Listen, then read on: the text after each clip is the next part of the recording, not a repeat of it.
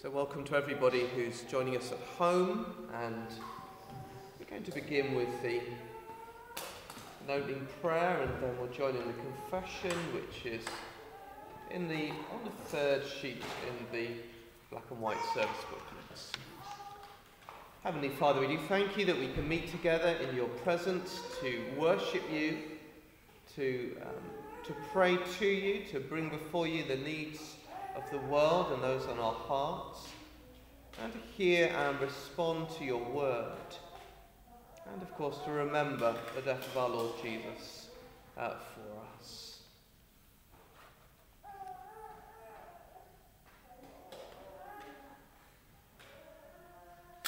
Quieten our hearts as we pray now our confession on the top of the page. So we say together, Almighty God, our Heavenly Father, we have sinned against you and against our neighbour in thought and word and deed, through negligence, through weakness, through our own deliberate fault.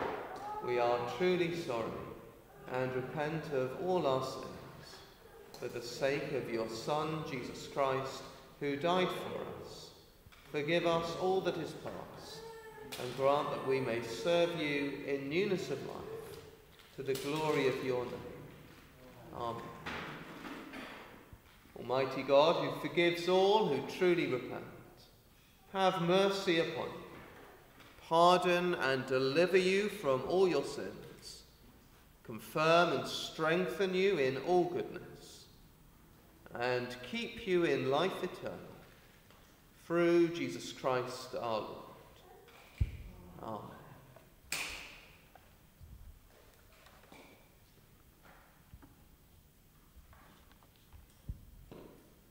Our reading this morning is from Mark chapter 4, verses 1 to 20, and you can find it in the Blue Pew Bibles on page 1005. Mark 4, 1 to 20.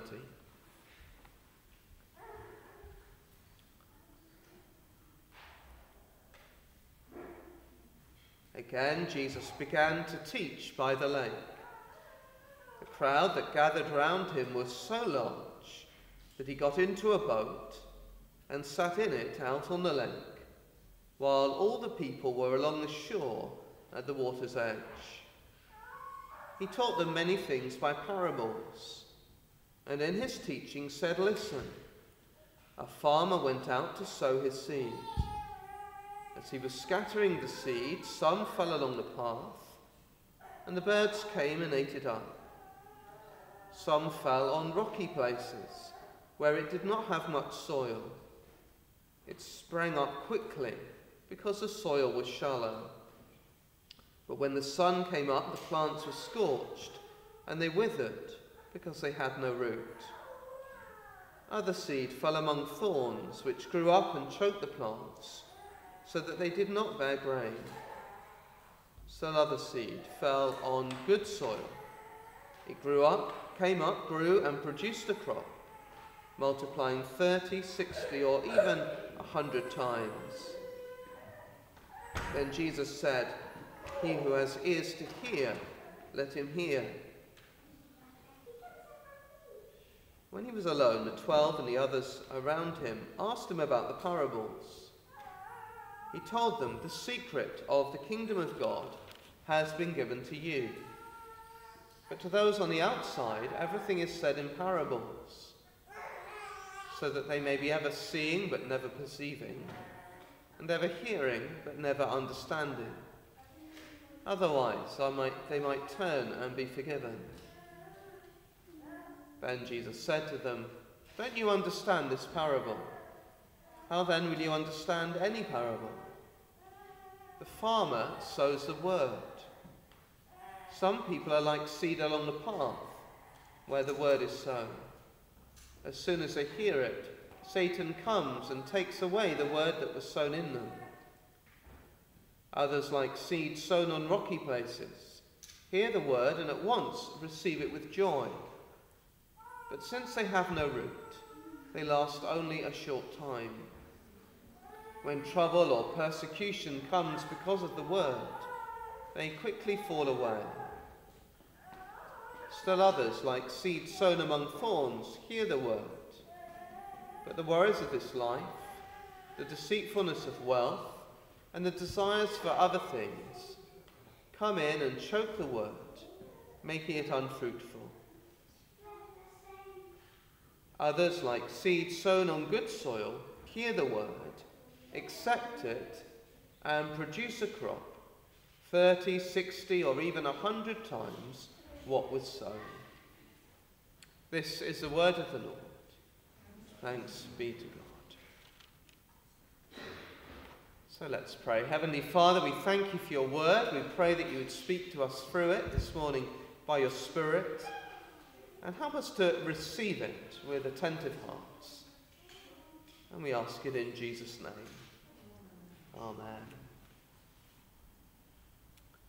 So, this is a very familiar story that Jesus told, the parable of the sower, and it's one of a number that we'll be looking at through these weeks leading up to Easter. It's a story that many of us can relate to if we are perhaps green fingered, maybe we have a garden or a, a pot plant on a windowsill, or we've seen others uh, with such things. We know sometimes plants grow, sometimes they don't grow, and sometimes they grow for a little bit and then they die. In my house, pot plants tend to just die, but that, I'm not green fingered. Some of you may well be. But this is a story about a farmer who distributes the seed extravagantly, profligately, and indiscriminately. He throws the seed almost everywhere that you can imagine. Some lands on the path, and uh, that's very hard soil, a little like throwing it onto a road where the cars might drive past it, where it has no chance of growing. Some seed is thrown into shallow, rocky soil. We might think today of throwing it onto a patio. It might spring up briefly, but it can't put down a root, and so it lasts a short time. Some seed is thrown among thorns. We might think of throwing seed into a hedgerow, and there isn't room for it to grow, so it gets swiftly overwhelmed and can't flourish. But lastly, there is so- seed that lands on the good soil, takes root, and produces a harvest. So perhaps the first question we might ask is well, what is this parable really all about? And it's a story about how we respond to God's word. And we know that because Jesus tells us so. If we look on to chapter 4, verse 14, Jesus says, The farmer sows the word. There's no doubt as to what this story is about. And of course, when Jesus spoke, there were huge crowds that gathered to hear him. And the disciples may well have wondered why is it that as they move from town to town and people hear the wonderful teaching of Jesus, that so many just vanish away or lose heart or don't stay the course. We would expect everybody hearing Jesus to respond favourably, but it doesn't seem to be the case. And in our own experience, we also know that there are many and varied responses to the Word of God, to the Scriptures. We've seen them in our own experience. Some hear and forget, some hear and respond for a short time, um, and some hear and last. So the seed that falls on the path, Jesus says it's as if Satan steals the message out of people's minds. This is where somebody just doesn't seem to listen at all. The teaching of Jesus goes in one ear and out the other. It's like water off a duck's back. Most preachers have had the experience of preaching a sermon and being aware that some are listening, but others, their minds seem to be a hundred miles away. Their eyes are glazed. Perhaps they're thinking about Sunday lunch or a walk in the countryside, or, or, or who knows? I never quite know um, what's going through people's minds. But we, we know how easy it is for people to just ignore the Word of God. It's like the seed on the path, it makes no impact at all. And then others are like the seed on the rocky, shallow soil. They're enthusiastic for a brief time. Perhaps the disciples saw this in the crowds that followed Jesus, uh, where there may be some who just couldn't stop talking about how wonderful Jesus was and shouting out Hosanna, perhaps, or being enthusiastic. But give it a day or a week and they've just vanished away. And it's a common experience in almost all church congregations that people come for a while and they are so enthusiastic, perhaps for a day or a week, even a few years. And then they've gone from being 100% enthusiastic to nothing at all. They're not, not they're no that longer there. We wonder what's happened to them. Where have they gone? It's not they're ill. They haven't always moved away. Sometimes they, they just can't be bothered anymore. Church was a, a passing enthusiasm, and then it passes. And now they've taken up baking or skateboarding or, or bingo. And then there is the seed among the thorns, so easily choked. And this, Jesus says, is where people lose heart because they're crushed by life's distractions and worries and concerns. And we know so easily how this can happen. We come to church, we read our Bibles, we pray, but then life gets so busy. The demands of work are irresistible. Perhaps ill health creeps in, or financial worry, and we just can't hold on to our joy. And so people just drift away. We see it so frequently. And then there is the glorious final example of, of the seed that's sown, where it really makes a difference. It produces a crop. We see that in the 12, or most of them, not all. And we see it in our own church fellowship, as people's lives are touched by the mercy and grace of God, as they grow in their faith and they persist in trusting the Lord Jesus, and we rejoice with them in their faithfulness. It's a simple enough story. But we might ask, well, what does it have to do with us? Well, firstly, I think Jesus tells the parable in order to guard the disciples against disappointment or disillusionment or unrealistic expectations. We might assume that anyone who hears the word of God will be changed and transformed by it. But it's so important, isn't it, that we remember what Jesus says here. It seems like three out of four people will not stay the course. Some will listen and others will just fall by the wayside. And for us, of course, it's discouraging, isn't it, if someone comes to church and they don't seem to listen or pay attention. And it's heartbreaking if someone comes for a few months or a year and then just gives up as if their faith meant nothing to them. And we feel for those who, who give up because life is hard.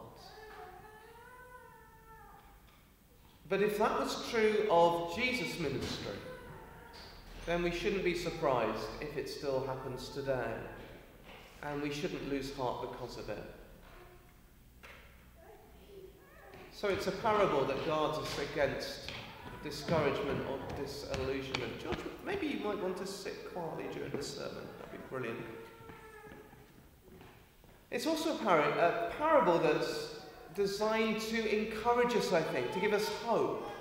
Because there is that fourth soil where the word really makes a difference. And for all of those who ignore it, or disregard it, or, or reject it, or give up, there are those for whom the grace of God is truly life changing. God is at work, and we can hold on to the power of His word uh, to change lives. But of course, and you're probably ahead of me here, the most important uh, application of the parable to us is to challenge us to ask, well, how do we personally respond to God's word? What sort of soil are we? What place does the word have in our lives? And perhaps we might take a moment to think about that. Because we don't want to be like the hard soil, like the path, where the word doesn't penetrate, where we don't listen. And the way to avoid being like the path is to choose to be receptive, to hear the word of God, to allow it into our hearts and minds. For some of us, practically, that might mean something as sim- simple as getting a hold of a Bible at home. For others, it might be getting the Bible out that we already have and reading it, making time in our busy schedule to do that. And for others of us, it may be that we read it, but we also try and listen to hear what God is saying. We ask, What is God saying to me through these words? So that it doesn't just go over our heads. Then, secondly, we don't want to be like the shallow soil, where the, the plant springs up but then dies away so quickly. The issue here is about commitment, isn't it? We want to be those who are committed in our faith right to the end. The RSPCA used to have a, a phrase that a dog is for life, not just for Christmas. Well, that's certainly true of our faith in the Lord Jesus. How much more? Indeed, the most important relationships in our lives are those that are lifelong. Just think of a, a responsible parent's care for their children. How long should parents care for their children's well-being? Well, forever, really. We think it odd if a parent said, Well, i have lost interest after a month, so I'm not bothered anymore. And if we want to share in the glories of heaven and receive the promises and blessings of God in eternity, then of course we need our faith to be lifelong, to stay the course, to run the race, to endure and persevere. And so we can say, Yes, I'm in this for the long haul. And we don't want to be the soil that is thorny, choked by the weeds. And I think the issue here is trust. We don't want to be fair weather Christians, but all weather Christians.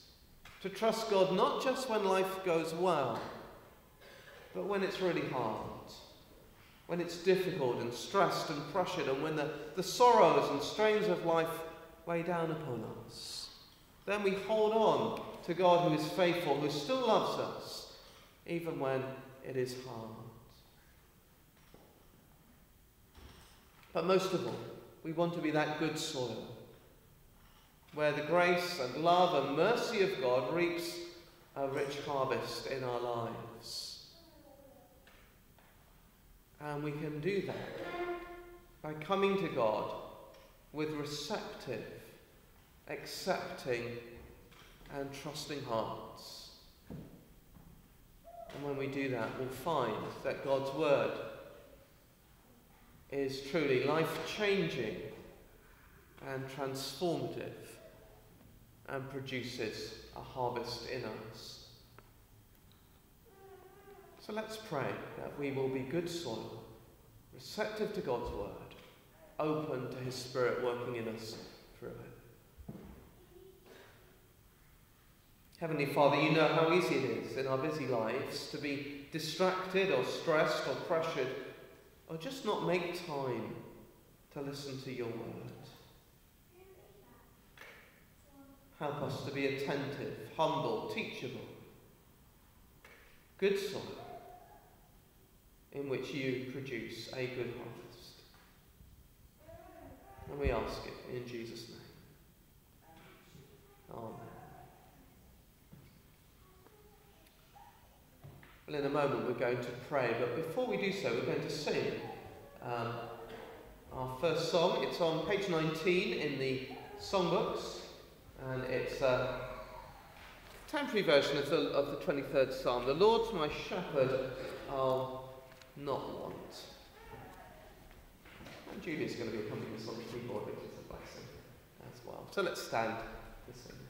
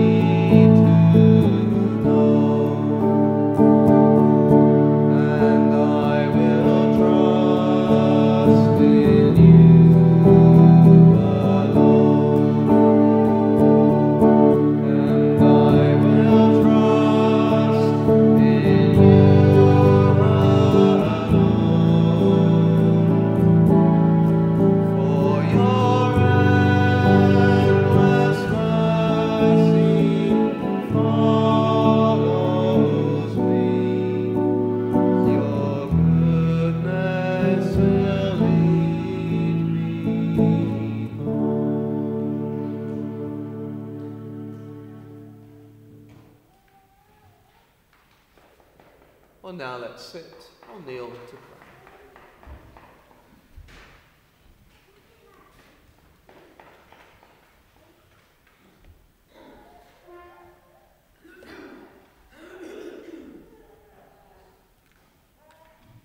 As we come to our prayers, let's try to be really quiet and focus on God's presence here with us.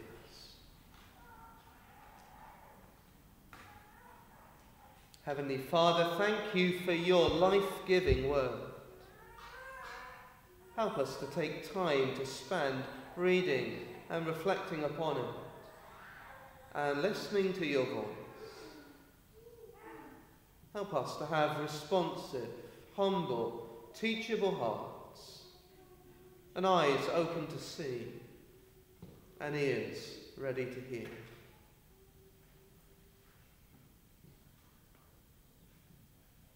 Please help us to have changed hearts and minds and lives, touched by your grace and transformed by your loving kindness.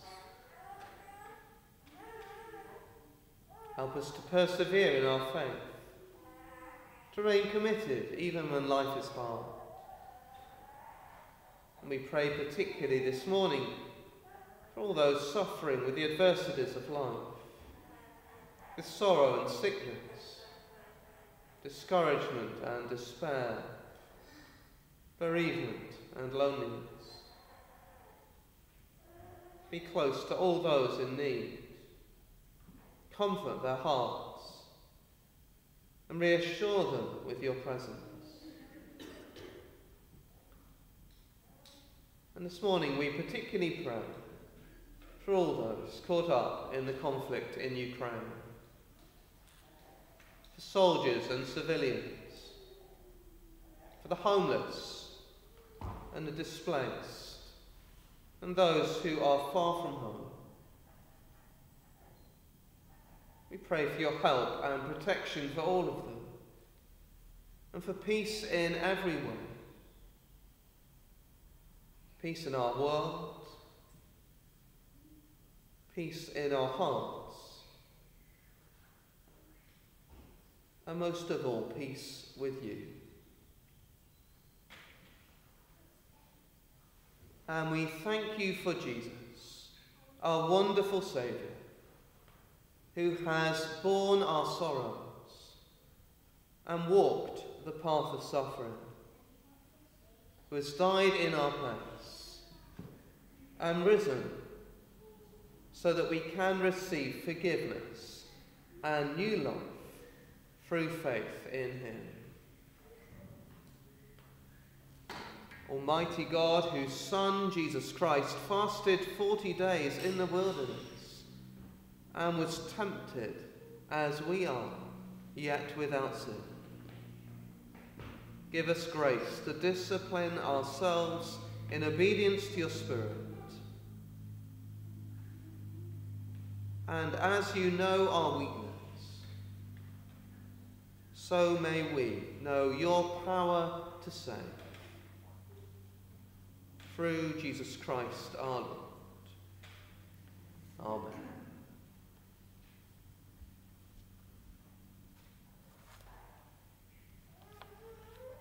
Turning to our service booklets to page three, we join together in the communion prayer.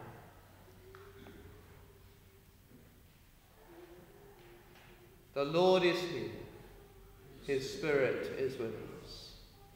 Lift up your hearts. We lift them to the Lord. Let us give thanks to the Lord our God. It is right to give thanks and praise.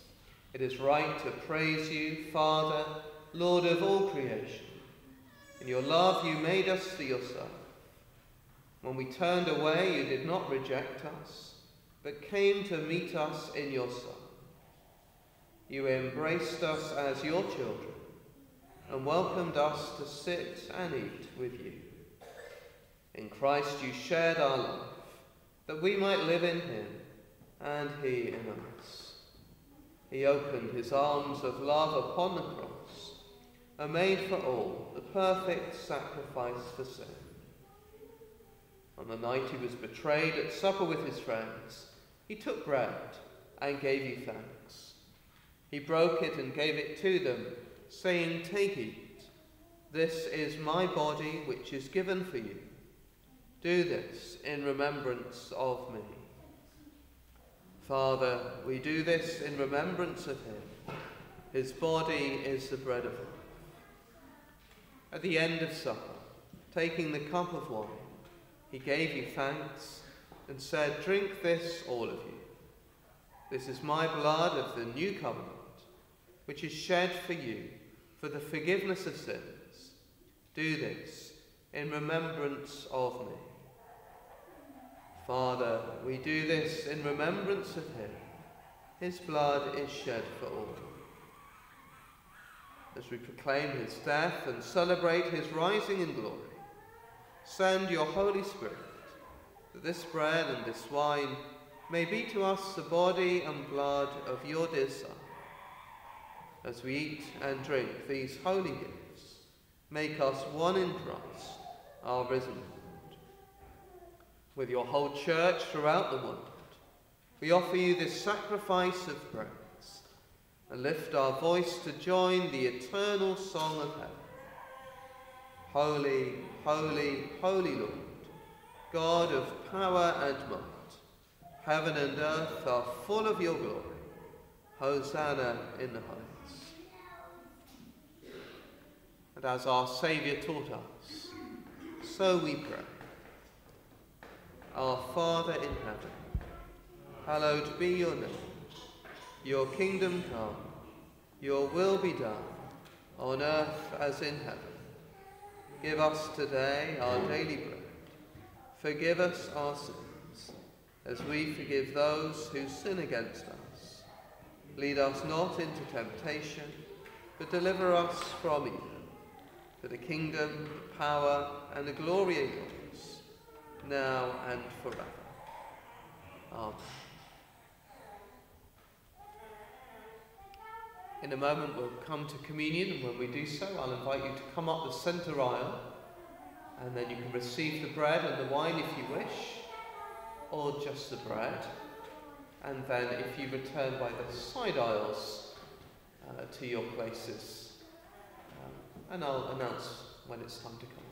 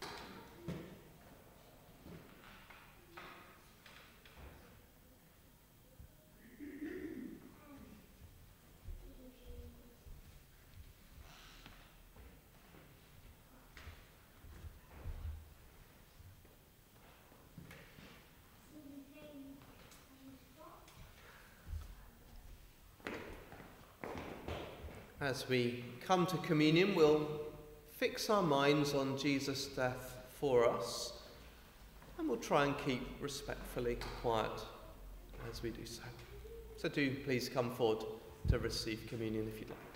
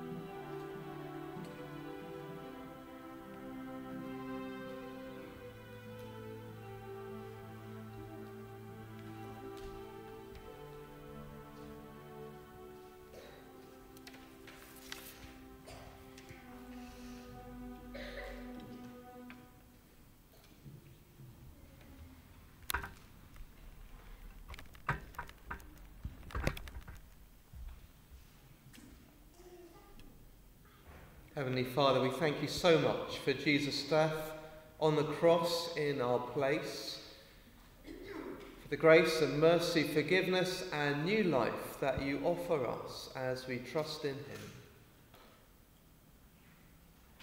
Give us thankful hearts and help us to live each day uh, in the light of your presence and thankful for your great mercies.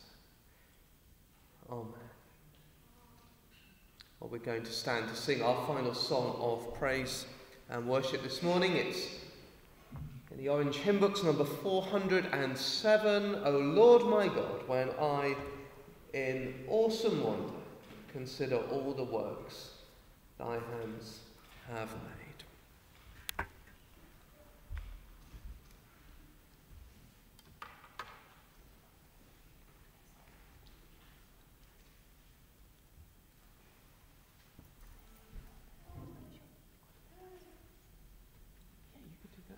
actually. Before we, before we sing that final song, Caroline's just going to say an extra word or two um, I'm so sorry, I got so emotional earlier, I completely forgot to mention. Children who are doing our action are, are meeting up at Moseley Hive on Tuesday and Thursday. You're also welcome to join. It's between 3.30 and 5 p.m. However, we asked on Facebook and we'll ask um, in this congregation as well for some art supplies. If you have any to spare, please could you drop off some to Vicarage this week? Um, so Philip very kindly agreed to store it for us. And all these supplies are going to go for children in Hive to create the works for art, for art of art for us. Um, however, later on there will be a group organized art group for children in Moseley, so whatever we don't use uh, is going to stay in Hive for local children. Thank you. Thank you, Caroline. If you're not at all sure about what you can do practically, just have a word with Caroline afterwards and she'll, she'll make it all clear.